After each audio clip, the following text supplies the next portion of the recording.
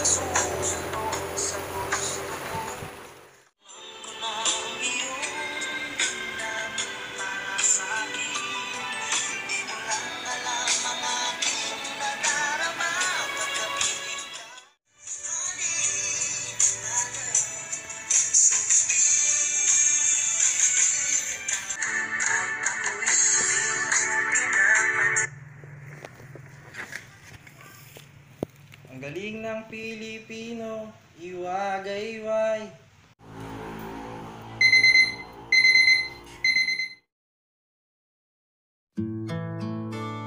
Heto tayo ngayon, sama-samang umaahon, kapit kamay sa bawat hakbang.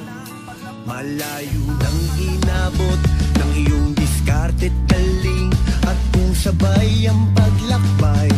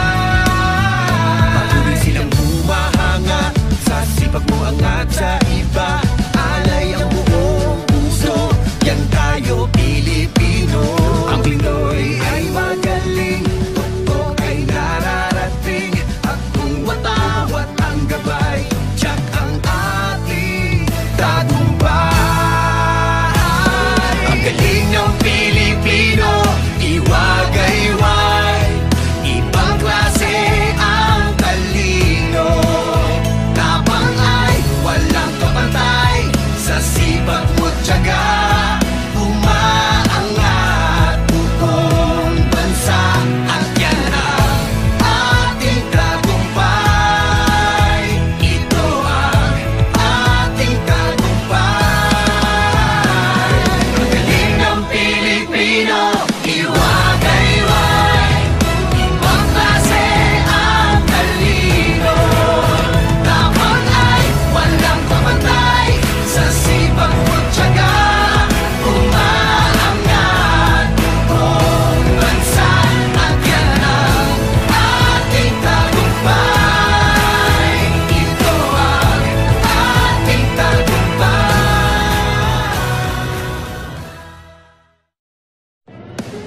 Galing ng Pilipino, iwagayway.